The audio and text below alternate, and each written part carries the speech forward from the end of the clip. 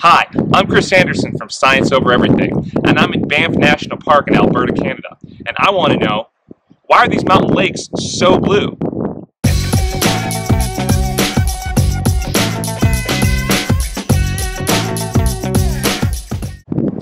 Every summer, the glaciers in the mountains start to melt. That water dissolves minerals in the rock and washes them into the lake. Those minerals are fine particles and they're in suspension in the water.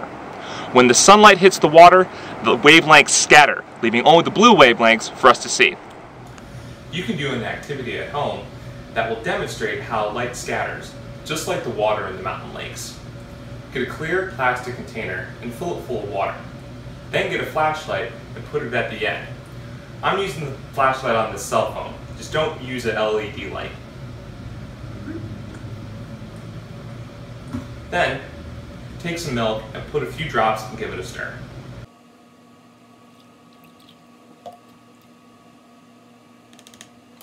Then, look through the plastic container at your flashlight. Even though the flashlight is white, the light will appear orange. So what's happening? Light travels as a wave, with different wavelengths corresponding with each color. White light is made up of all colors, and therefore made of all wavelengths. When the light from our flashlight hits the water, the suspended particles of milk scatter the light. The only wavelength that we can see is one for orange light. The same thing happens in the mountain lakes. When the light hits the water, the minerals suspended in it scatter the light. It also is why the sky is blue.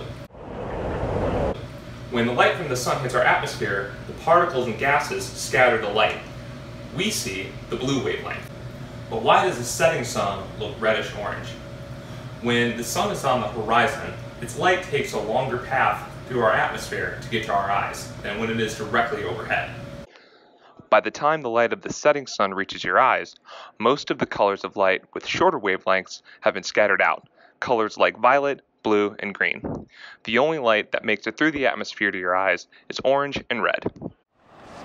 Thanks for watching everyone. If you like this video, check out our YouTube channel, Science Over Everything, and make sure you read our blog for any current events in science and how they might matter in your life. Make sure you like us on Facebook and follow us on Twitter at Science Over ET. And if you get a chance, make sure you check out Canada's beautiful national parks.